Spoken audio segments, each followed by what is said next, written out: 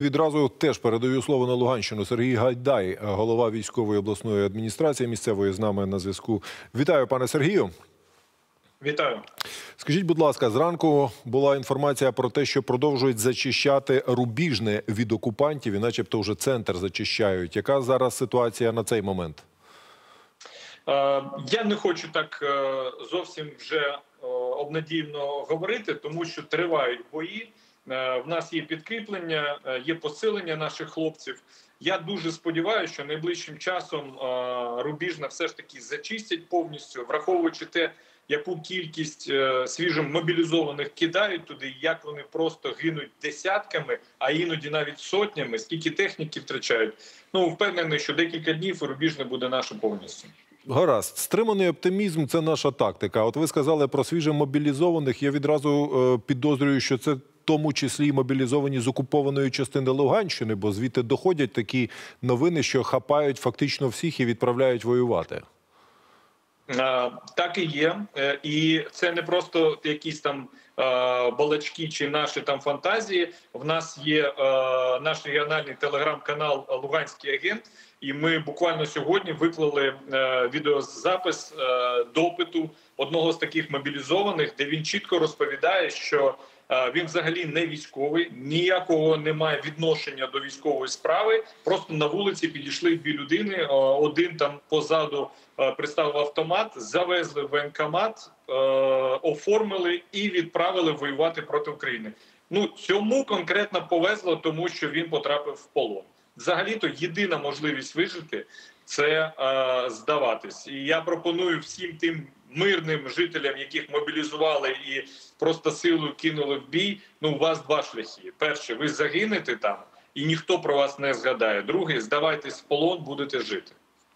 Так, а можна якось до них доносити це прямо на полі бою? Я не знаю. Вчора ми показували, як е, викидають листівки туди в окопи ворога. У вас є якась така система донести людям інформацію, щоб простіше здатися і вижити, ніж загинути невідомим нікому не потрібним героєм, так званим.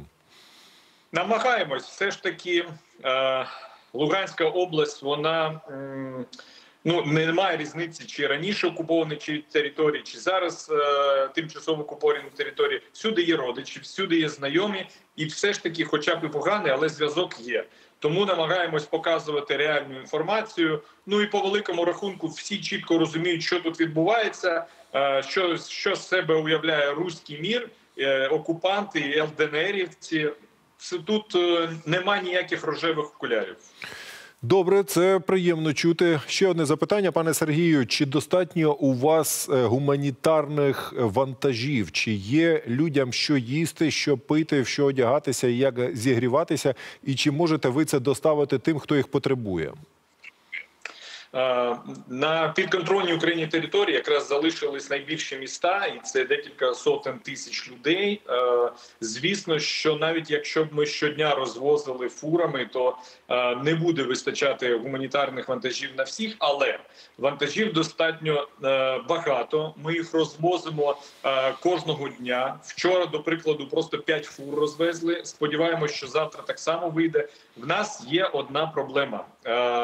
Багато людей просто ховаються в укриттях, підвалах, про які навіть ми не знаємо, і вони не дають про себе знати. Випадково іноді з'ясовуємо, що е, десь в якомусь будинку в підвалі знаходяться люди.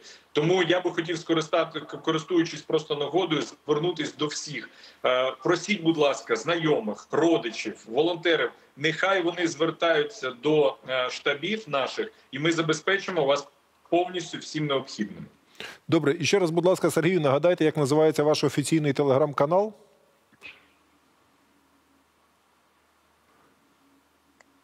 Сергію? Е, Переривається зв'язок, погано вас чути, на жаль. Телеграм-канал офіційний е, Луганської військової адміністрації. Як Луганський агент називається телеграм-канал. Нехай люди дивляться, всю інформацію даємо. Зрозуміло, можна слідкувати паралельно там в режимі реального часу. Дякую, Сергію. Сергій Гайдай, голова Луганської обласної військової адміністрації, був з нами в ефірі.